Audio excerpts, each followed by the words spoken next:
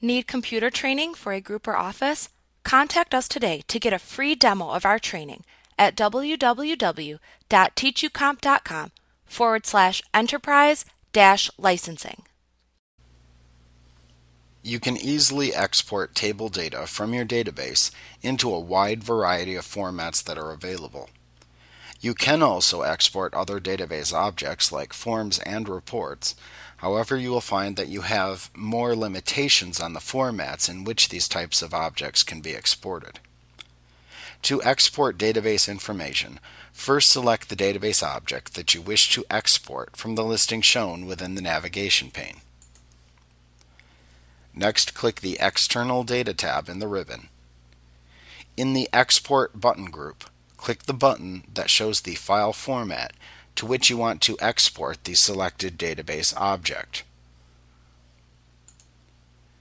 This will open the export wizard for the type of export that you want to perform. The specific steps shown in each wizard will vary slightly depending upon the file type to which you are exporting the selected database object. However, most of the time, you will still need to select a name and a file location for the exported object.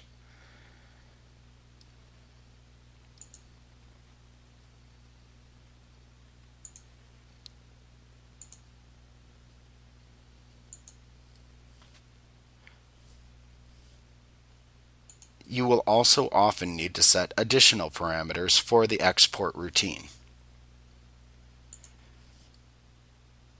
Now, just as when you import data, you will also be prompted to save your export routine if desired.